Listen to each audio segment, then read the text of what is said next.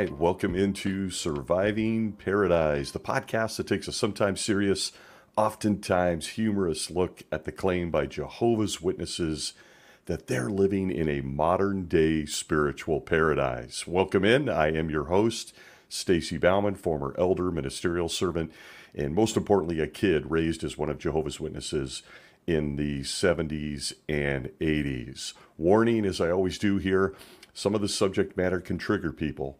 It's a long journey out of Jehovah's Witnesses and oftentimes a very difficult and emotional one.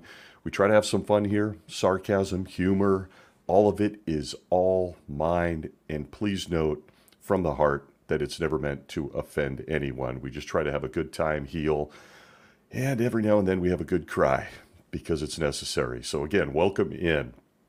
I have to discuss one of my all time favorite subjects in my time as one of Jehovah's Witnesses. And I must say, one of my all time favorites, particularly as an elder.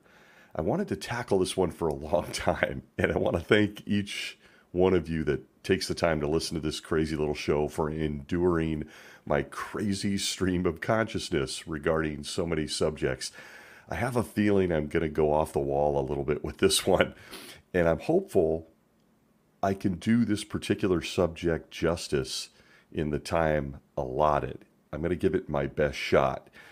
As is always the case, there's much more that can be said, researched, and shared on this little show. But what we really try to do is just take that top layer, the emotions. And this is one of those subjects that I feel like has impacted particularly the brains of far too many people on this planet among Jehovah's Witnesses. But let me ask you who loves a good horror movie? Now, as most will know, I grew up in the 1980s, and let me tell you what, that decade pumped out some classics Poltergeist, Nightmare on Elm Street, Halloween.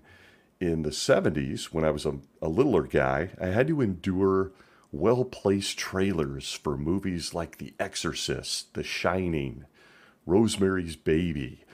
Uh, see a past episode on Jehovah's Witnesses and entertainment or on the demons if you want to get some of my thoughts on some of those things. But full disclosure, I was terrified of this stuff as a kid. I've shared before, I thought the demons could come through the television or the movie screen and actually enter the room or attack me. And I didn't get that idea just because I was a silly little kid. I got that idea mostly from Jehovah's Witnesses. I, I'd close my eyes, repeat Jehovah's name over and over and over again in my head until the trailer ended on the television set. And I sure as hell never watched these movies. I want to say right out of the chute, I'd never seen these movies. I don't think I've ever seen Poltergeist, Nightmare, Halloween, ah, Exorcist. Nah, I have seen The Shining, but I've never seen these movies.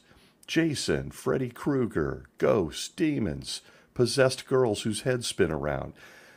This kid, and even again as an adult, eh, I thought this stuff was really scary. I thought this stuff was really bad and terrifying in so many ways. As I mentioned, I've talked about this before. But listen, throw it all out.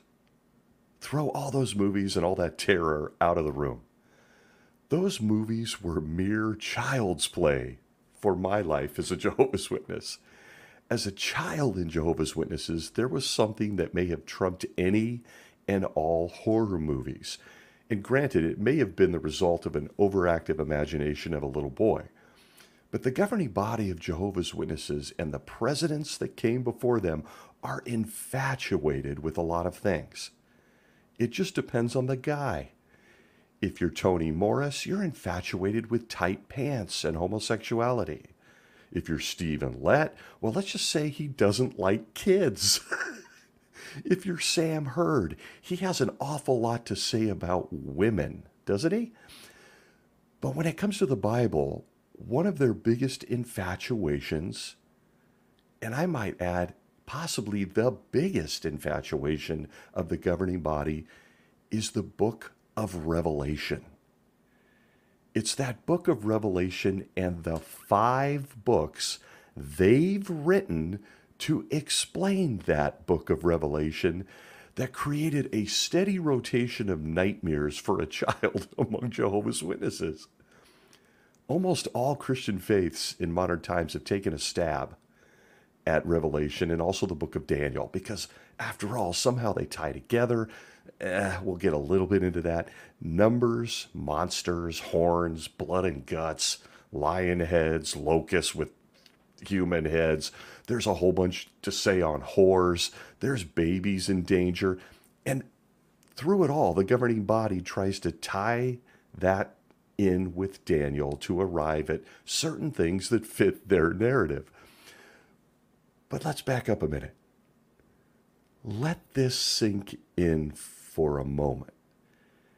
They have written five, that's right, five books on Revelation to teach the rest of us what the book of Revelation written by God is actually about. Five. Five books to, you know, give us a better look at the book written by God. But as you ponder that little fact, consider this. Also from the Bible at 2 Timothy 3 16 and 17, we get this quote, All scripture is inspired of God, including Revelation, and beneficial for teaching, for reproving, for setting things straight, for disciplining in righteousness, so that the man of God may be fully competent, completely equipped for every good work. End quote. Apparently, though, that doesn't apply to Revelation. Ah, yes, a scripture from the Bible that I could probably quote every episode. But again, regarding the book of Revelation, they've written five books because apparently the verse I just read just doesn't apply, not to Revelation when the Bible, inspired by Jehovah, gifted to us by his Son, says fully competent, completely equipped, he really just meant, well, uh, sort of, kind of. Jehovah needs some guys in New York to write five books to explain the book of Revelation. So, well, starting with that fact, the questions begin one has to wonder why it took five books. I guess the one wasn't enough again. And oh, we can now start taking a look at what those illustrious five books given to us by Jehovah and his Son have to say about the book of Revelation. And just in case you would like to see these books, or you would like to own your own copy, I have some bad news. And albeit strange news. All five of these books, inspired and written under the direction of Jehovah and Jesus themselves, and undoubtedly infused with Holy Spirit, or so we're told by the governing body, all five of those books are, well, get this, they're out of print. and they're no longer available even in your Kingdom Hall library if you went looking for one. Now, why would that be? I need answers on Revelation. Now, to get those answers, you can find some of this online or find one on eBay. If you want to find one of these books infused with Holy Spirit, they're no longer offered by Jehovah's Witnesses. It's all part of preaching this good news of the kingdom in the last days. Jesus is now apparently utilizing eBay and Amazon to share messages regarding the book of Revelation. Feel free to Google that. You will find them almost instantly. And might I add, they're quite expensive. so, again, these messages that are life or death, and there were five of them, are no longer available to someone who wants to serve Jehovah. He decided to pull them out of print, but you can find them on eBay or Amazon. For the person of faith looking to educate themselves on all things Revelation, allow me to share with you the five choices that Jehovah sent down to the guys in New York in the beginning. Uh, there was some Pennsylvania, there was some Brooklyn, New York, there's now upstate New York. Here's the five books that we are told mean life or death to us. There is 1917's The Finished Mystery. There is 1930's Light 1 and 2 by the infamous Judge Joe Rutherford. There's 1963's Babylon the Great Has Fallen. There is 1969's Then is Finished the Mystery of God. And then finally in 1988, we received Revelation, the grand climax at hand. Again, all are out of print and unavailable through Jehovah's Witnesses, God's people, but hard copies of this life and death information to all of mankind is available in spiritual centers such as Amazon or eBay. Oh, and the governing body mothballed them all, interestingly, they haven't had any new books on Revelation or any new light in 39 years. Make that 35 years, excuse me. 35 years of hanging on to their last comments on the book of Revelation. I thought it would be fun, and again, maybe only to me, to take a look at each of these books some of the entertaining, uh, I mean, critical highlights from each current belief of Jehovah's Witnesses. Remember, everything I cover here is in print and can be found on their website. And I state that for anyone who's interested in fact checking, or if you are a Jehovah's Witness who's listening in and bravely entered into the Dave, the, the den, I should say, of a mentally diseased apostate, they're all in print and was shared with Jehovah's Witnesses as inspired information from Jehovah and Jesus himself. And listen, warning like the movies of the 70s and 80s that scared the living hell out of me, the following information scared me even worse. Things like lions with wings. The little guy in me was thinking, wait, lions can fly? Things like a leopard with four heads dragons, a seven headed beast, horns, fangs, lots of blood, locusts that fly through the air, but they're sporting human heads, and scorpion tails, fire, lots of whores. There's a lot to say here on whores and prostitutes, but the whore gets eaten, plagues, violence. Death itself rides a horse birds show up. They eat the guts of billions of dead bodies. And kids who just showed up to the Kingdom Hall in a clip on tie in the 70s is there to take it all in. This kid included. As I mentioned, scared the hell out of me as a kid. But aside from the symbolic and oftentimes horrifying imagery in Revelation and duplicated in full color by Jehovah's Witnesses, the verses in the Bible might not be the worst of it.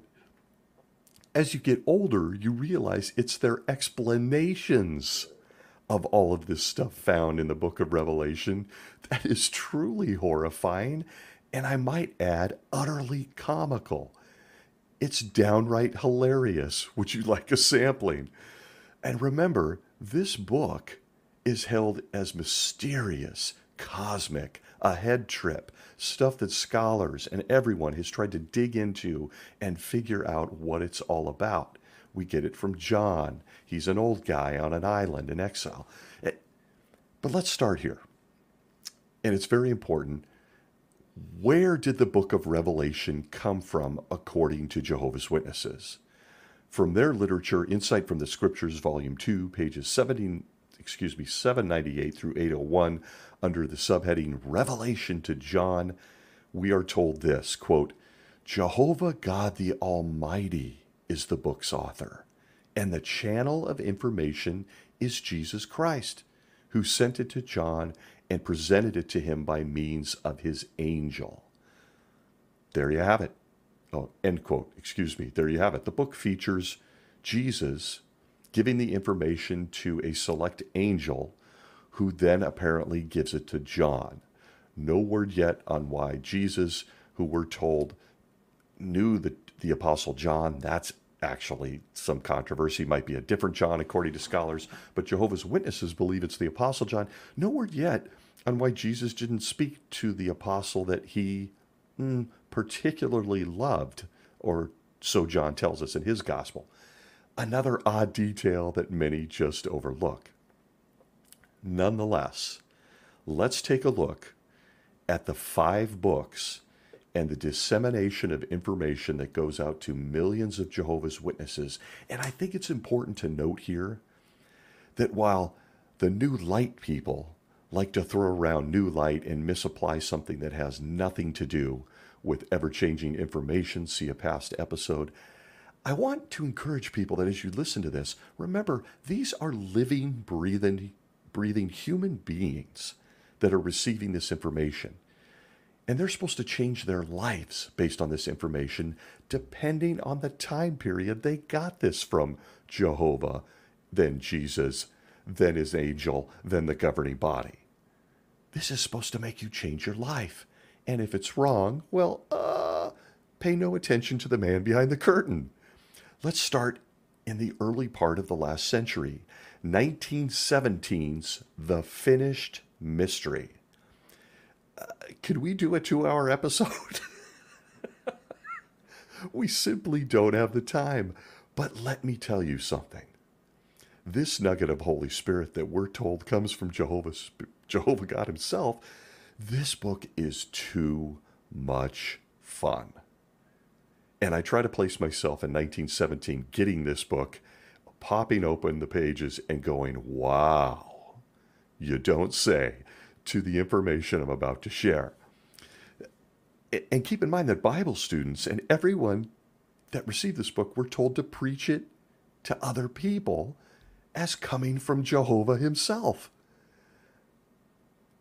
Don't underestimate that fact. It's unbelievable. How about a few highlights, or as I like to say, nuggets of Holy Spirit from Jesus Guys in New York from 1917's The Finished Mystery, their first stab at explaining the book of Revelation. As I read this, it's very important to note that this book was, for the most part, most of it, aside from Volume 7, was written by Chuck Taze Russell.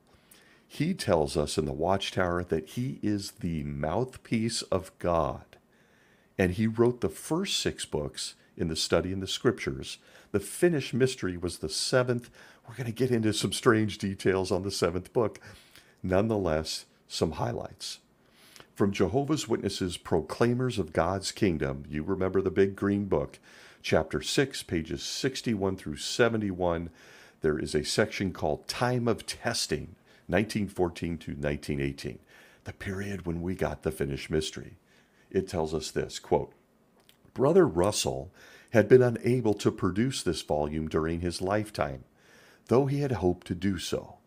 Following his death, the executive committee of the society arranged for no governing body. The executive committee of the society arranged for two associates, Clayton J. Woodworth and George H. Fisher, to prepare this book, which was a commentary on Revelation, the Song of Solomon, and Ezekiel. There's a joke in there, folks. What do you get when you get Revelation? The Song of Solomon and Ezekiel walk into a bar? That is the strange. Anyway, back to the quote. In part, it was based on what Russell had written about these Bible books, and other comments and explanations were added.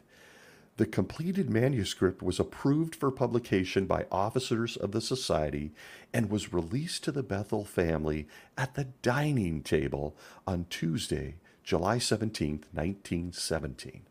End quote. I hope I read that slow enough. There's a lot in that paragraph that, well, do you have some questions? How about this one? Did they just admit that the mouthpiece of God Charles Taze Russell was now dead. He didn't actually write the finished mystery in 1917. He just left some notes behind, and that they just quickly found two guys that were not the mouthpiece of God to uh, roll out a book on Revelation. You'll note there was no governing body, just something called an executive committee. And they just found two guys that were not the mouthpiece of God, just two guys. To finish up by looking at some notes and chicken scratch that Chuck left behind before he died. A little bit of an overlooked detail, wouldn't you say? Did Jesus shift gears, decided he want, wanted Chuck in heaven, and he just had two other guys that weren't their mouthpiece of God to write his first book on Revelation? God's mouthpiece is gone. There's a committee of the society. We have no idea who's on the executive committee, they mentioned, by the way. Stepped in for who? Uh, God? To assign two new guys to talk to the rest of us? Ah, yes. And so the inspiration among Jehovah's Witnesses at the turn of the last century begins. And when you hear what is in this book, that these two guys were uh, asked to finish for Chuck, he was in heaven now, I think you'll agree it's truly inspired. It's very inspiring. Are you ready for some highlights? Again, gotta reiterate, we got Jesus in heaven. It's 1917. He's king now. He's elected some executive committee guys and two guys that they picked to now be his mouthpiece. They oddly are never his mouthpiece after this book again. Let's be brief. Let's go to some highlights. Page 4. Charles Taze Russell is the faithful and wise slave. Wait a minute, isn't that all the anointed? Oh, oops, now just the governing body? Things change. Page 66. Jesus began his reign as king officially in 1878. Uh, oops. Uh, Jesus gave this information to these two guys that were elected by some committee of whom we don't know who was on it. And did somebody get a typo? Did Chuck leave some chicken scratch that was mistaken? 1878, Jesus became king? Jesus fixed that later under the judge to 1914. Things change a lot. Page 171. Oddly, the time of the end, yes, the last days covered in a past episode, started in 1799 even though Jesus wasn't king apparently for another 79 years, uh, it gets confusing here when you're trying to wrap your arms around Holy Spirit from heaven. Page 64 the remaining anointed would go to heaven in the spring of 1918. Is this a good time to ask God's mouthpiece about overlapping generations? Never mind, I digress. Page 128 Demons will invade the minds of churchgoers in 1918, leading to their destruction. No word on how they do this or who tells them to do this. Chuck just said they're going to do it. Sorry, scratch that. Not Chuck, not God's mouthpiece. Two guys that were just elected to collect his notes. Page 485. Other religions, a theme in Revelation, I might add, also in the year 1918 when God destroys the churches wholesale and the church members by millions. That's a quote. In 1918, religion and everyone who was anyone but a Jehovah's Witness or Bible student at that time was going to be killed. Page 258. Not to be left out, you can't get away from the governments and politics, something the judge really got into later. Quote, even the republics will disappear in the fall of 1920. Every kingdom of earth will pass away, be swallowed up in anarchy. Ah, yes, the dates are moving. It's like the cup game. We got 1799, we got 1878, we've got 1918, 1920, governments are gone. Huh, I wonder how many Jehovah's Witnesses remember that. Page 276, the voice from heaven of Revelation 18:4 is actually the Watchtower Society. That's right, can be found on page 276. And if you thought those highlights from this book were good, check out a few others. Page 1, excuse me, page 85, the Leviathan of Job 41 2 through 19 is a locomotive. It's a train. In page 93, the valiant men of Nahum 2 3 are actually an engineer and a fireman. I mean, why not? Page 139, the earth was created 48,000 years ago. Come on, what do we expect, folks? This is a guy who busted out rulers, went to Egypt, and was measuring steps on pyramids. Page 273. The glory of the angel of Revelation 18:1 refers to modern discoveries such as correspondence schools, celluloid, divine plan of the ages, one of his publications, talking machines, must be the precursor to cell phones, vacuum cleaners. Vacuum cleaners made, made their debut in Revelation. The Bible book of Revelation featured vacuum cleaners. That's right. Induction motors, pasteurization, the Panama Canal slips in there, shoe sewing machines. That's right. These were the guys that led to the evil of Nike in 2023. Subways, skyscrapers, early x ray technology, and the list goes on. Did you know that that was all given to John on the island of Patmos and is in the book of Revelation? Vacuum cleaners. Imagine John's despondency to be sitting in exile knowing that one day he'd be able to vacuum stuff up off the floor. Unbelievable. But listen, this one's my favorite. From this illustrious book, on page 230, we get Revelation 14:20 of the Bible predicted the precise distance from the place where the finished mystery, this very book you're holding in your hand, it predicted the precise distance from the place where this book was produced in Scranton, Pennsylvania, to its shipping destination in Bethel in New York City. That's right. At the time of its writing, Revelation 14 was a prophecy about printing and shipping books, and the distance, minus GPS, no cell phones, no UPS or FedEx. Revelation 14 was about the distance where this book was written and where it was shipped, or printed and shipped to. Inspiration from the notes of God's mouthpiece and two guys that we don't know much about that just read his notes and collected them together. but while entertaining, it's the fact that the governing body continues to roll this book from 1917 out as evidence that Jehovah is truly blessing only them. They are now the mouthpiece of God. From the Jehovah's Witnesses Proclaimers of God's Kingdom, page 69, published at the late date of 1993, but pointing back to this book, says, quote, through the close of 1917 and into 1918, the Bible students energetically distributed the new book, The Finished Mystery. By the end of 1917, the printers were busy on the 850,000 editions. The Watchtower of December 15, 1917 reported the sale of the seventh volume is unparalleled by the sale of any other book known in the same length of time except uh, the Bible. End quote. The book they made is a bestseller. We're selling God's inspired stuff to people.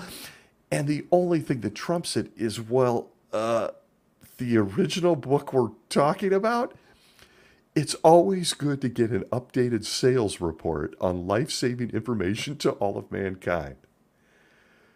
This book was only bested by the book you wrote the book about, a book God was the original author of. Pay no attention. Quote In 1917, the Bible students published The Finished Mystery, a powerful commentary on Revelation and Ezekiel. This comes to us from Revelation, its grand climax at hand in 1988, page 165. Why do I share that? Because they're still pointing at this book that they say prophesied about vacuum cleaners and trains and firemen as proof that they were blessed by Jehovah. A powerful commentary indeed, folks. So powerful was it that we can no longer get this book for our own library. I could go on for an hour on the finished mystery, but I won't. It was book number one in a series of unbelievable books that they say Jehovah needed their help with to explain eh, his first book. And again, they continue to point at the finished mystery as a real achievement. It was in their last book on Revelation, as I just read. Let's move on. 1930s Light, 1 and 2 by The Judge. What a character. Somebody please finance and make a movie about this guy. But in 1930s Light, it reads on the inside page of the book, quote, light, the physical facts set forth showing fulfillment of the revelation which God gave unto Jesus Christ to show unto his servants. End quote. I share that quote in their second book on Revelation produced because the judge calls them facts. Everything in his little book is indeed a fact. We've moved from Jehovah to Jesus to angels to John to an executive committee we don't know who's on it to two guys that we never hear from again. And now we're to the judge when it comes to the Bible book of Revelation. And what follows are facts. Light 1, his little book, saw a total interpretation of the book of Revelation, one that is mostly retained to this day. Many of the features from Judge Joe on Revelation still have life among Jehovah's Witnesses. If you do research, you'll see they've rotated, changed, changed back a few times, but they're still there. The 1920s and 30s, which saw the writing of Light 1 and 2, were the judge's time to make dramatic doctrinal changes to this little religion. Russell's chronology, Chuck, and many of his other teachings you know, like vacuum cleaners and stuff, were rejected. They got kicked out. In Light 1, he moved away from firemen, railroad cars, and other stuff in Revelation to leverage the book to create a second group of people known as the Great Crowd, something Jesus himself kept secret even after this book until 1935. And who wouldn't? It's by far the most important doctrinal teaching because it affects billions of people and their salvation.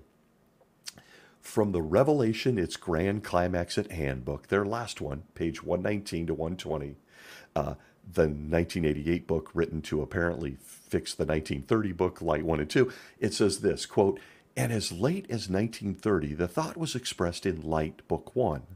Quote, those who make up this great crowd fail to respond to the invitation to become the zealous witnesses for the Lord.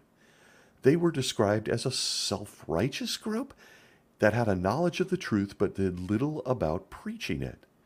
They were given to heaven as a secondary class that would not share in reigning with Christ. Wait a minute. For those of us in modern times, did he just say the great crowd was a self righteous group that didn't want to preach? That's right. In Light 1 and 2, the second book on Revelation by the governing body, the great crowd was originally bad guys, according to Jesus, through Judge Joe. But listen, just five years later, no word yet on why it took five years, the great crowd were people that suddenly are righteous people. They love preaching, and they now get to live forever on a paradise earth with lions, tigers, and bears and eat fruit forevermore. If you're getting dizzy yet, you should be. They went from bad guys in the second book, Light 1 and 2, 1930s, to paradise dwellers in a span of mere months. That Revelation book is apparently really tricky. And there's no word yet on how Jesus uh, was communicating this to the judge, uh, or even how this happened and was there confusion? How did we go from bad guys who won't preach to good guys who love preaching? Therefore, you get to live forever. There's never an explanation. It's the second book in the Society Stab at the Bible Book of Revelation written by Jehovah. But one more highlight in the interest of time from Light 1 by Judge Joe Rutherford. And as anyone knows, I hate math. There's so many more people online and elsewhere that are so good at breaking down all these numbers and doing that stuff. I just don't have any interest in it. But this one is fascinating. Revelation 11 3 through 6 discusses a period of three and a half years or 1,260 days. During the 1800s, the Watchtower claimed this was prophetic of 1,260 years. There are two prophets, a woman and 1,260 years, uh, allegedly. But zero proof of when this starts, or if they're actually years, or anything else. But that didn't stop the judge in Light 1 and 2. We are told that Light 1 explained those 1,260 days extended from the November 7th, 1914 release of a Watchtower article to May 7th, 1918 issuing of an arrest order on Judge Joe Rutherford and his friends on the Watchtower board. That's right. Without going too deep into this, no one knows why a Watchtower article in November 7th is critical or how it all leads up to the judge's arrest. But if you let yourself think about it for a couple of minutes, you begin to realize that the book of Revelation found in the Bible is all about him. That's right. The book of Revelation given to mankind in the Holy Book is actually all about Judge Joe Rutherford in many ways. Light 1, pages 198 and 199 says this quote, The article, that critical article, published in the November 1st issue of the Watchtower, would be in the hands of its readers by the end of the first week. Uh, you see what I'm saying? November 7th. It was the November 1st. Okay, thank you. This Watchtower article is what starts the 1,260 days. It back to the quote. It will be in the by the end of the week or by the seventh day of November 1914. Uh, you kind of start to realize the judge, when writing Light, was kind of mapping this out. Back to the quote 42 months of 30 days, or 1,260 days, which is equivalent to three and one half years solar time, beginning the first week in November to wit November 7th, 1914, would then end on the seventh day of May 1918. Exactly 42 months after the publication of the aforementioned sackcloth article in the November 7th Watchtower, to wit, on the seventh day of May 1918, all the officers of the Watchtower Bible and Tract Society, and who were then the publishers of the Watchtower, were overcome in this and they were arrested under warrant charging a violation of the espionage law and trading with the enemy, and their work stopped. End quote. Really convoluted. Apologies, but want to make sure you know that's in print. But now back to me. Thank you, Jehovah and Jesus, for confirming this. But uh, wait, according to this quote from Light, I'm doing some quick math here.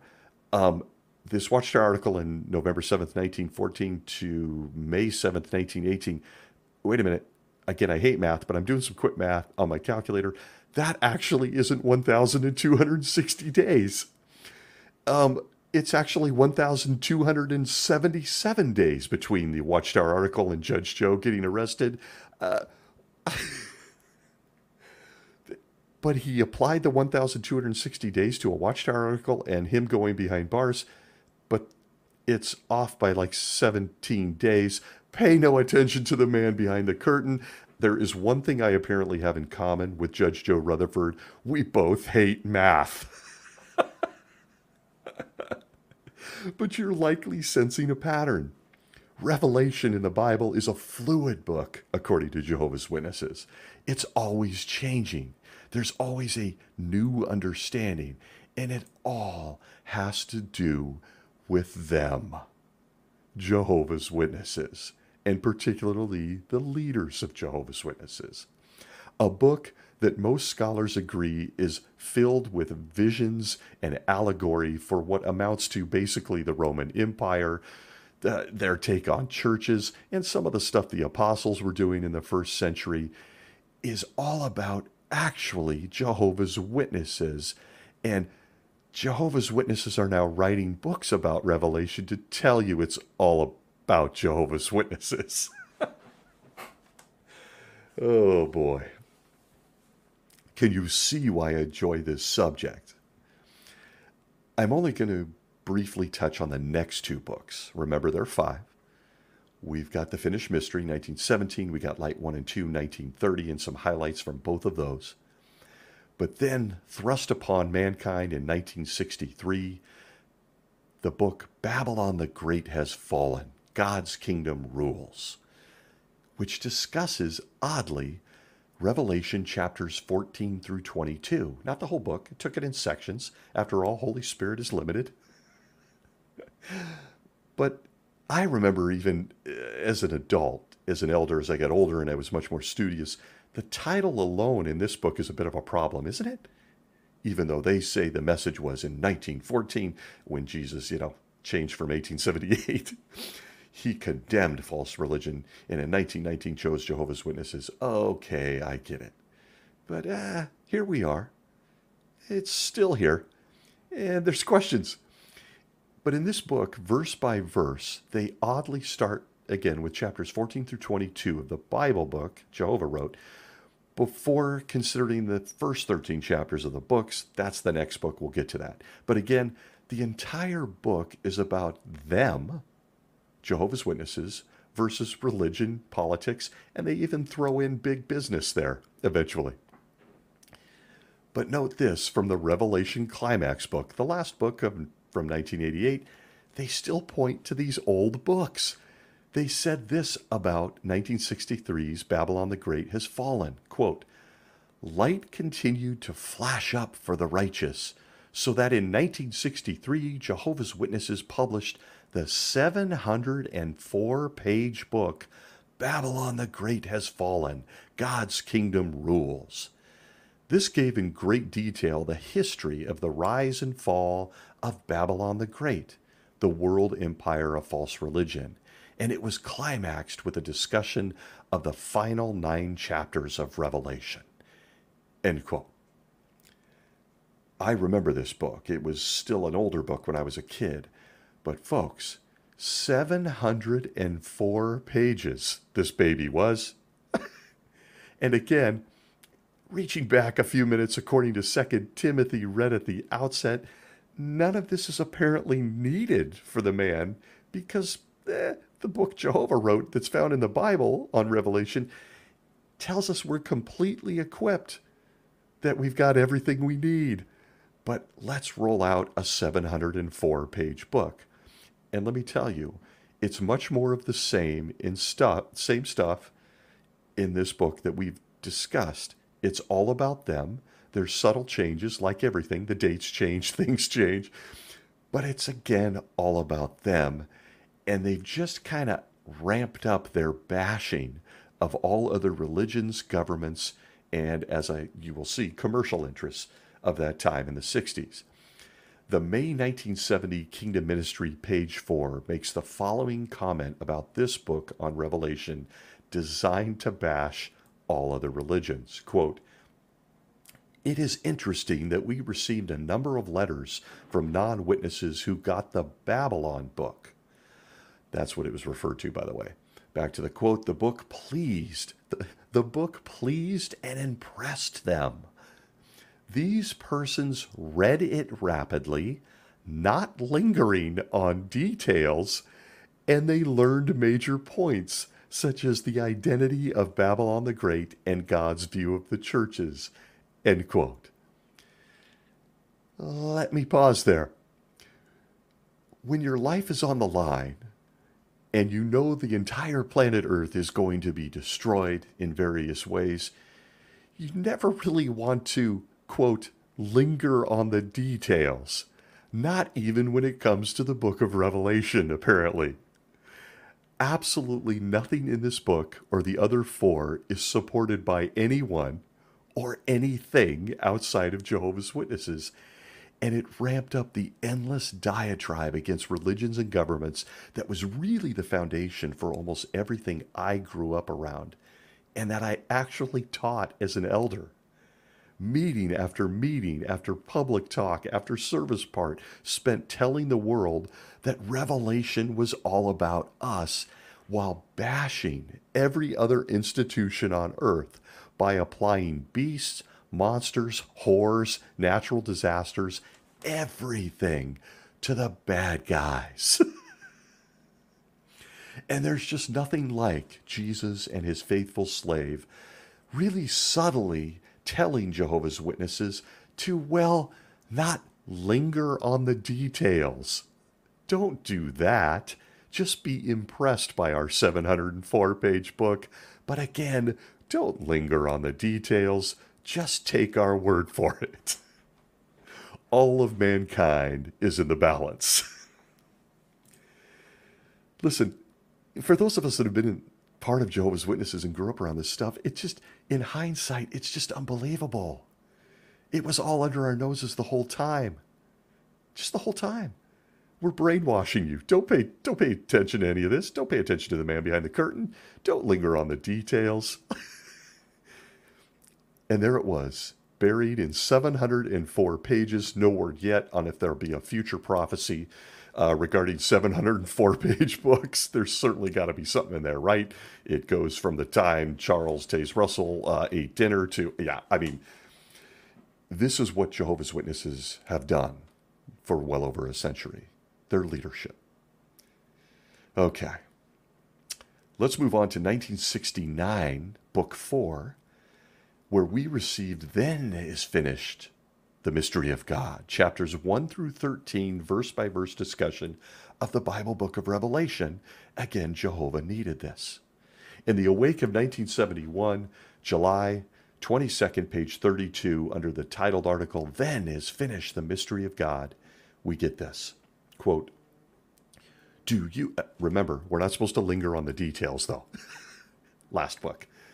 Back to the quote Do you know the significance of this grotesque beast of Bible prophecy? How can its head be linked with outstanding political powers? What does the number 666 mean? You can find the answers to these questions in the Bible study aids then is finished the mystery of God, and Babylon the Great has fallen, God's kingdom rules, books 3 and 4. These fascinating books can help you to understand the highly symbolic Bible book of Revelation. Between the two of them, the entire book of Revelation is discussed verse by verse. You will find them to be valuable additions to your personal library. Request both books totaling 1,088 pages, and send us only $1.25. Please send me the two books. Then is finished The Mystery of God and Babylon the Great has fallen, God Kingdom Rules, for which I enclose $1.25. Hey, send also the gift booklets World Government on the Shoulder of the Prince of Peace and Look, I am making all things new. End quote. 1969. I was two. You too, in 1969, can receive life or death information for just a buck 25. Make sure we get that, by the way. We need that. Cheaper than my pet rock, I might add. See last episode. but there you have it. Books after book after book.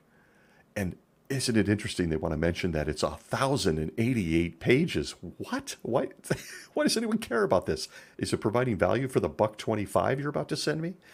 And these are going to be valuable additions to your library. Uh, newsflash, out of print. They've burned the libraries to the ground. There's no more of this. But again, this was all new light back then. It was new light. And they were supposed to again, be telling this to everyone. Everyone. These books for a buck 25. By the way, throw in a couple of freebies.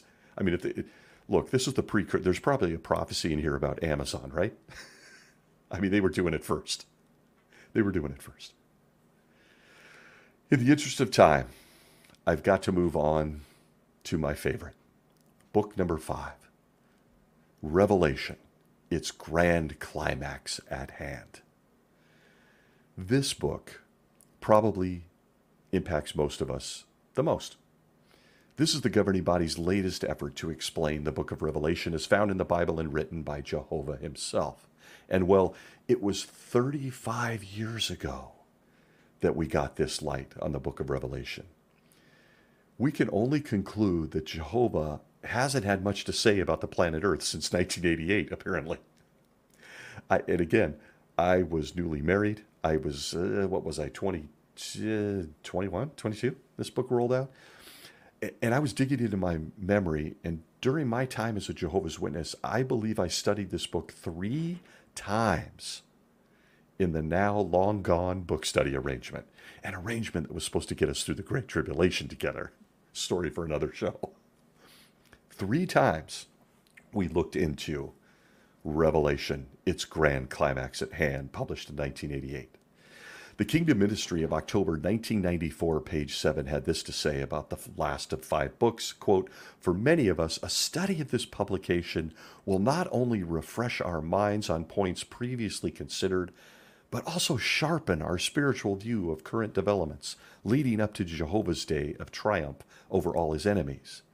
The thousands who have joined our ranks during the past two to three years will certainly benefit from our indoctrination. I'm sorry, will certainly benefit from this third consideration of the Revelation Climax book in the Congregation Book Study. End quote. You'll note there that in this book, Revelation Climax, the governing body wanted to be sure they got the new people early after baptism and keep the propaganda rolling. Keep it going for those of us having to slog through this miserable book yet again for the third time. The first time, I was in a group with an elder uh, book study conductor that didn't like to show up to meeting. He just, he was a good guy, but he didn't like to come. Uh, I think he struggled with this book, as I found most elders did. And so, as a 22 year old ministerial servant, I ended up conducting this a lot. That's where I cut my teeth to become an elder. I conducted the Revelation Climax book. I was 22. I could barely tie my shoes, but I was now going to explain to you how vacuum cleaner. Wait, nope, that was old light. I was going to explain how whores and dragons, you know, are all about you and me. From that point on, I conducted it as an elder, and I will openly share from day one, I laughed at this book a lot. And I mean to tell you, I laughed a lot. And I did it openly.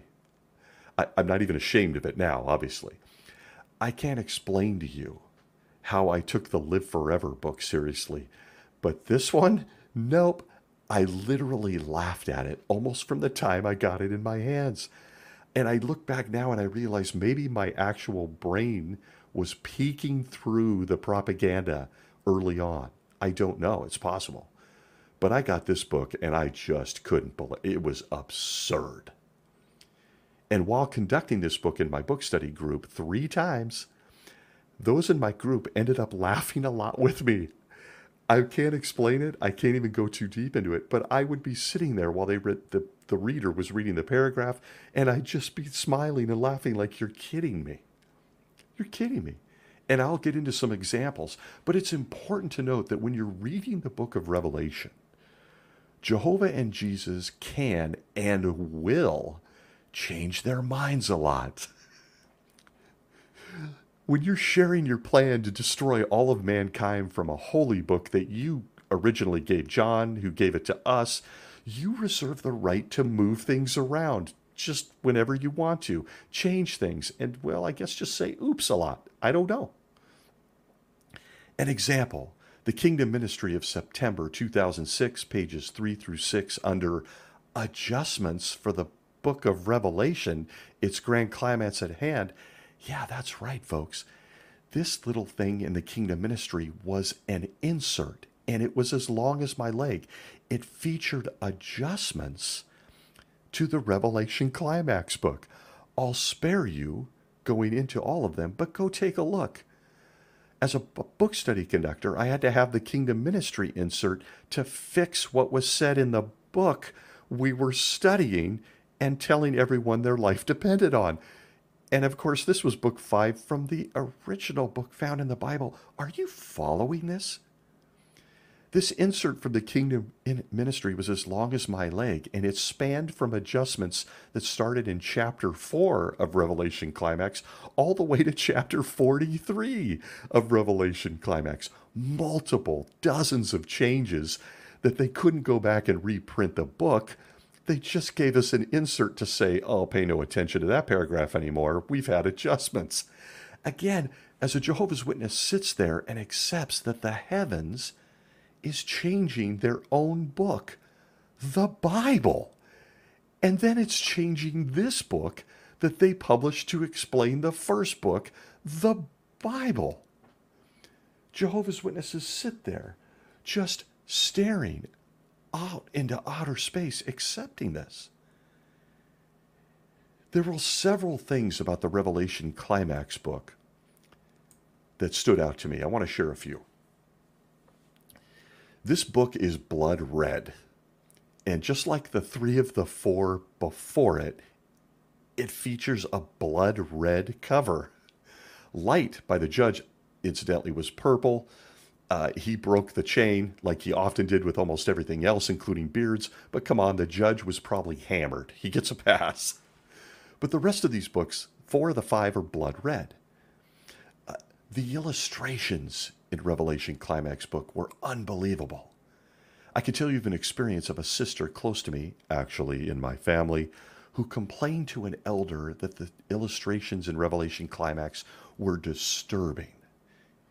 This elder looked at her, and I'll never forget it.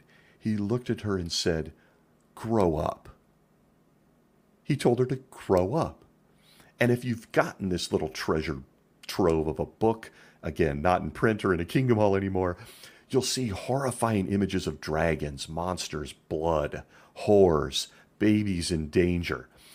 I often would sit there watching the kids and remembering my own experience with the Paradise Regained book, The Peach Colored Baby, and the My Book of Bible Stories as a kid, and how horrified I was by some of the illustrations. But the Revelation Climax book was next level.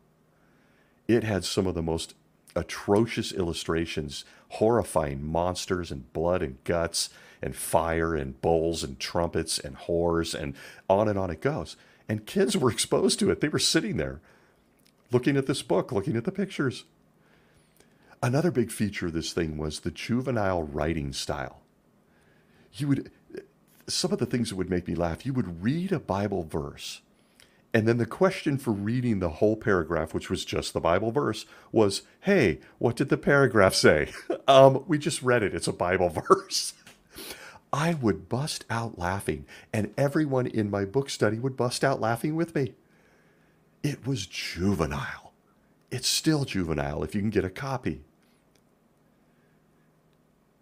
But another feature is the, ins- the just the unbelievable intellectually insulting doctrines they try to pass off as fact in the Revelation Climax book, oftentimes contradicting something just two paragraphs earlier in the same book, in the same chapter. Because Jesus gets confused when discussing Revelation just like the rest of us. This book was unbelievable. Here's some examples of the insanity, and I'm not going to go deep on the teachings, but I'm just going to give you headlines because this is literally a treasure trove. As I already said, we got the book in 88. By the 90s, we were getting inserts saying, oh, that's all old light. Uh, dismiss that, read that paragraph that's old light, but then refer to this kingdom ministry insert, which is new light. I, and grown adults are sitting there. Here are some headlines. Headlines, excuse me. From the book, Revelation is Climax at Hand, page 164 through 168 the back to the back to the numbers. The 1260 days of revelation 11.3 is said to now be a literal period of time but just six verses later in the bible the three and a half days are said to be figurative. And you guessed it no basis for any of this. Zero. Just because. Just because 1260 is figurative. The judge wrote a watch article went to jail Six verses later in Revelation, Jehovah switches gears to John on Patmos. The three and a half years are suddenly figurative. No explanation. You don't need one. Just believe. from the book, pages 116, 117, 198, 199. This one is a personal favorite. It says this Likewise, in the description of the 144,000 of Revelation 7 4 and 14 1, the number 144,000 is taken as literal. But this isn't a quote, by the way, I apologize. Again, 144,000 all comes from Revelation, okay? We are told in this book to take it literally as they have taught for decades. But they seem to ignore a few things in the Bible book of Revelation, which is this that those 144,000s are, are literal. However, in the Bible, they're literally Jewish virgins, they're only men. And can you explain why they're standing on Mount Zion uh, and why those features are figurative? Numbers literal. All the parts about the people in that number are figurative. Ex- explanation? Not needed. Not needed. Not in the Revelation climax book. And just in case anyone is doubting that every book, magazine, video, or anything Jehovah's Witnesses get today is coming from heaven, from Jesus himself, in case you doubt that, you this book on published in 1988, page 125, says this quote, This suggests that resurrected ones of the 24 elders group may be involved in the communicating of divine truths today. End quote. Jehovah's Witnesses glob onto that stuff, folks. They glob onto it. So there you have it. Right from Revelation, its grand climax, published in 1988, page 125. The Apostle Peter, Chuck Russell, Joseph Rutherford, Nathan Knorr, and Jesus all get into a room and they are the ones communicating things to Stephen Lett and his buddies in 2023. And they give it to the rest of us. In fact, in a strange brain twister, they wanted to be sure that we knew that they were communicating these truths by including this comment in the Revelation Climax book. Welcome to my brain. We're told this comes from Jesus. It's book number five. We're told that he wants us to know hey, all of this stuff we give you today is coming from me and Chuck and the Apostle Peter and Nathan Knorr. And we're going to put it in this book that we're writing so that you know that. It's just unreal. And it can't be denied because it's in print. I wonder why it's no longer in Kingdom Hall libraries. But one more of my favorites from the Revelation Climax book, just because, as I mentioned, I would openly laugh while conducting this book.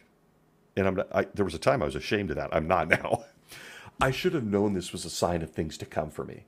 I would often wonder how this book saw the light of day or was ever published. Here's a few for you, just a few more. Chapter 22, page 146, The First Woe, Locusts. It says this quote, This preaching involves more than the spoken word. Also, they have tails and stings like scorpions and in their tails is the authority to hurt the men five months. End quote. From Revelation 9:10. Author Jehovah. What could this mean according to the Revelation Climax book? As they go about their kingdom work, Jehovah's Witnesses leave behind them publications, books, magazines, brochures, timely tracts these contain authoritative statements based on God's word for the people to read in their homes, and they have a scorpion like sting because they warn of Jehovah's approaching day of vengeance. Before the present generation of spiritual locust lives, uh, excuse me, have to nail this. Before, little tidbit, take note, Revelation Climax, page 146, before the present generation of spiritual locus lives out its lifespan, its divinely ordained work of declaring Jehovah's judgments will be completed to the hurt of all stiff necked blasphemers. Lot to unpack, end quote. There we have it.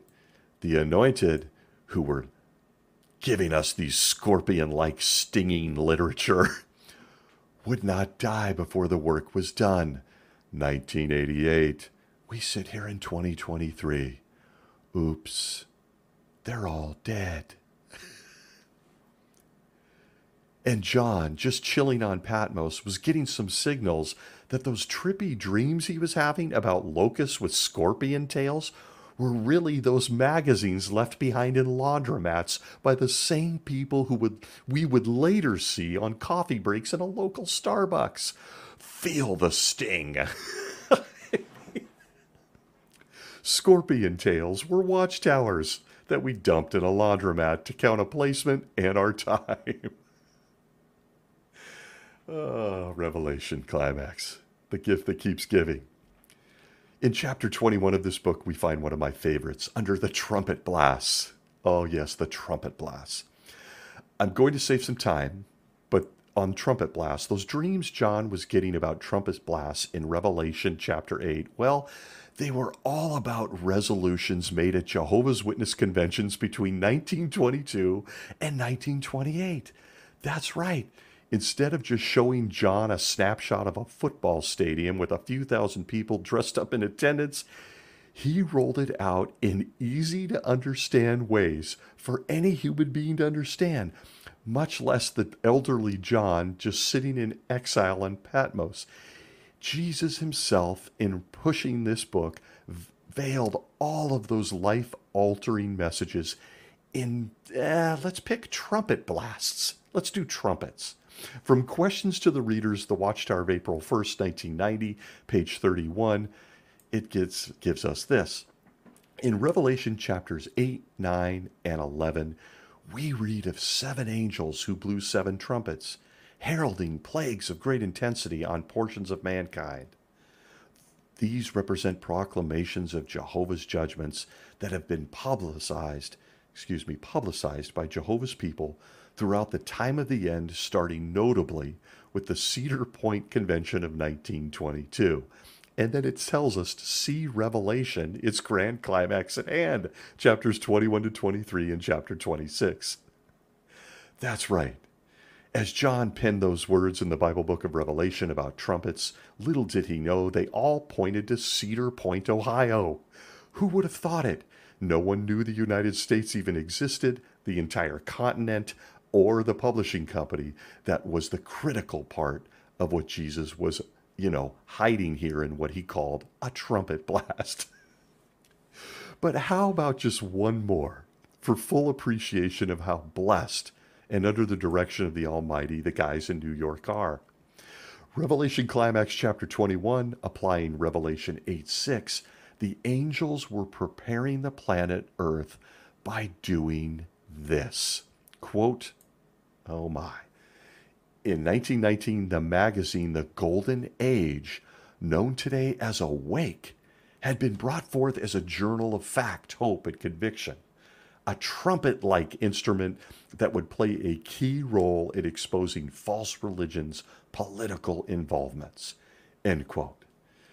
In keeping with the theme, you're sitting in a book study, you're learning the trumpet blasts, and there's all kinds of illustrations in the book to look at all point to Jehovah's Witnesses, a convention in unknown Cedar Point, Ohio. One of these now is pointing towards the Golden Age, published in 1919, a date we know well, and it's said to be exposing false religion. Would you like something from the Golden Age that it was publishing during this time period under the direction of Jesus Christ and his guys in New York? Here's my favorite one from the Golden Age, said to be a trumpet blast. Quote, if any overzealous doctor condemns your tonsils, go and commit suicide with a case knife. It's cheaper and less painful. End quote. The Golden Age, April 7th, 1926, page 438.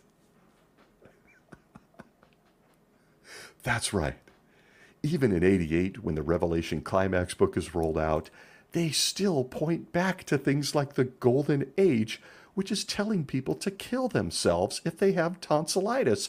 And not just kill themselves, don't jump off a bridge or take a pill, but no, use a case knife. Oddly detailed in what they want people to do to themselves. I give to you the April 7th, 1926 Golden Age, or as we're told in the Revelation Climax book, one of the amazing trumpet like blasts that John was giving us in the book of Revelation. Oh, man. The absurdity is virtually unlimited. And as I said, I often laughed during this, the book study. I just laughed.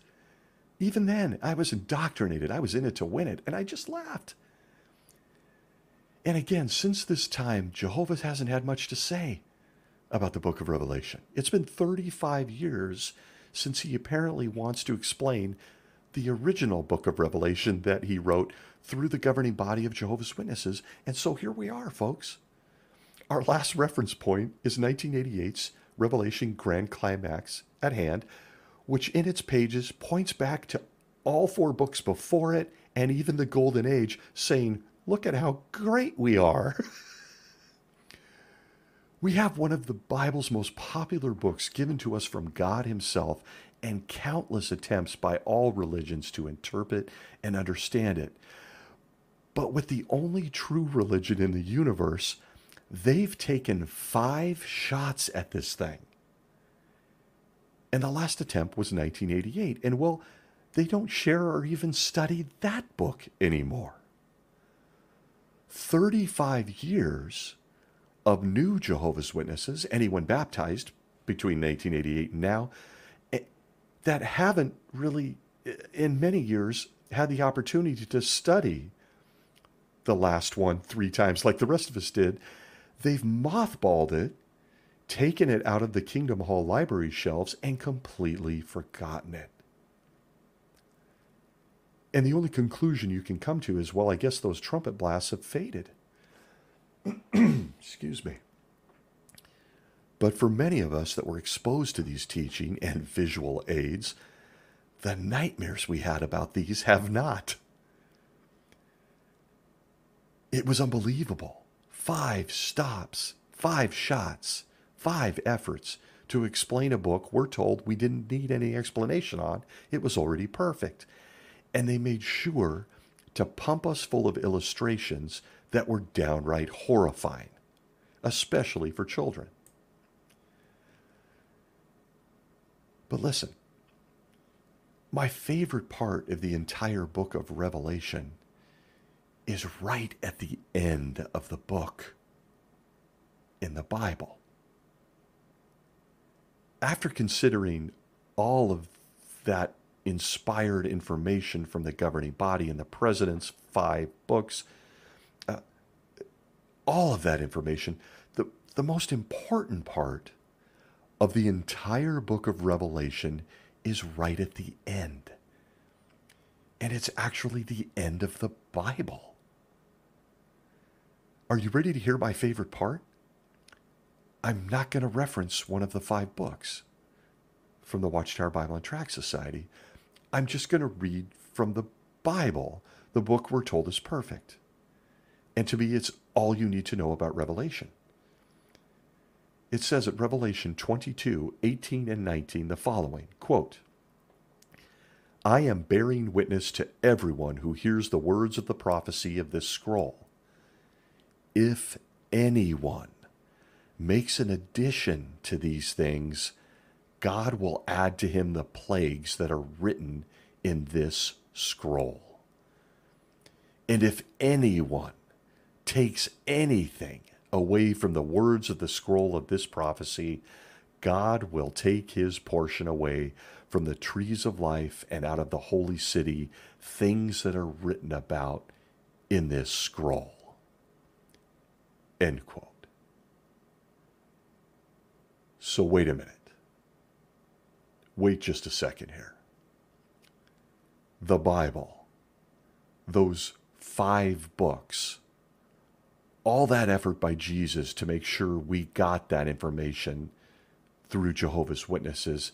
And well, I'm now confused as I reach the end of Revelation and the end of the Bible itself. I have a question. Did I read that right? did the same Jesus who gave us the five books just say, and I quote, if anyone makes an addition to these things, God will give him the plagues that are written in this scroll. God will take his portion away from the trees of life and out of the holy city. End quote. Did he just say that?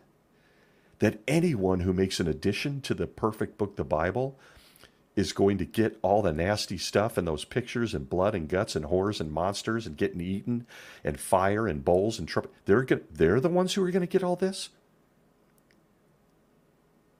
I mean, wait. We got five books added to this scroll. And you're here indicating that no one is to add to this book in any way, shape, or form? Or they will be destroyed. But then you had your guys in New York write five books filled with comedy, lies, insanity, and more. I mean, wait a minute. What? The word revelation comes from the Greek and it mean, it comes from the Greek word apocalypse, which means basically an unveiling, an uncovering, a revealing. It's undeniable. Telling the world that God's book, the Bible, needs you to explain is certainly a revelation. A revelation that you indeed are an arrogant, man made, cult. I want to thank everyone for listening in this week as we tackled very high level the book of Revelation. Wherever you may be, be well.